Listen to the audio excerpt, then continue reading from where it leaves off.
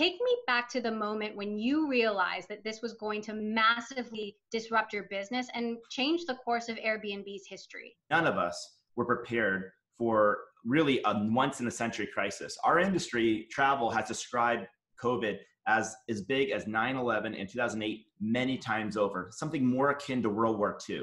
And when that happened, it felt like I was working on our S1. We were going to file it March 31, and it felt like 12 years of success and you know had all these things and life was great. And suddenly in you know you build something in 12 weeks and you lose most of it in 4 weeks. I can't quite describe what that feels like and it just felt like everything the company broke. I felt like a captain of a ship and a torpedo just hit the side of the ship. Now, travel came basically to a standstill, and in many cases, people didn't want to travel or they couldn't travel legally. It was illegal to rent an Airbnb. What was the lowest point for you, the darkest hour? There were so many dark hours. That's the old, like, quote attributed to Winston Churchill if you're going through hell, just keep going. And man, um, I will tell you, Uh, the first dark moment was when we had about a billion dollars of cancellations from guests. You also had to cut 25% of the company and you gave, you know, an incredibly generous severance package. Your note to the team, I could I could feel the the pain yeah. in there. You know, yeah. talk to me about going through that process, cutting was, 25% of your staff. It was the saddest thing I've ever done in my life, at least professionally.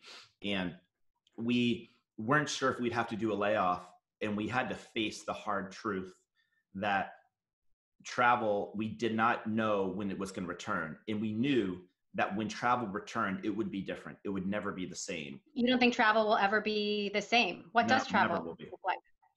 Well um, i will I, I don't know for sure but here's what i'll say. Travel will be back but it will look different. What trends are you seeing in europe in asia versus the united states?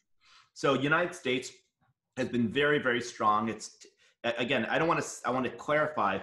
It's we we we cannot declare recovery anywhere because we don't yet know where it's pent up demand in temporary or sustainable recovery. But we've seen a temporary recovery in the United States. Europe, most of Europe, we've seen a recovery, a temporary recovery, other than the United Kingdom. United Kingdom, I think, is still locked down until July 1. But France, Germany, um, Italy, Spain, you're seeing really strong growth. Um, Latin America is not recovered, and Asia is starting to recover, but not yet recovered. So North America and Europe are extremely strong. Latin America, Asia, kind of a bit behind. How much do you think getting back to normal depends on a vaccine, or even then, things are going to be different? Travel as you knew it is over. You're never ever going to see it again. I'll just say that right there. Travel as we knew it from Valentine's Day and before is over. It's gone. It doesn't mean travel's gone, but that travel's gone. And nobody knows quite what it's going to be because it's really up to the industry to invent the way forward. But again, I think business travel is really, really going to be hit for a while. I think a lot of people are realizing they can do meetings on Zoom. They're rethinking a lot of the conventions and conferences. People are going to rediscover the outdoors. For example, there's 400 national parks in the country. Most Americans have never been a national park. Most Americans don't even know they live within 200 miles of national park. I think one prediction, national parks are going to be in. People are going to travel a lot more outdoors. These are things that are going to happen. And the other thing that I think is going to happen is travel and living are going to blend together. What do I mean? Well, if you can do your job from home, then if you can work from home, you could theoretically work from any home, anywhere in the world, so long as you're in the right time zone.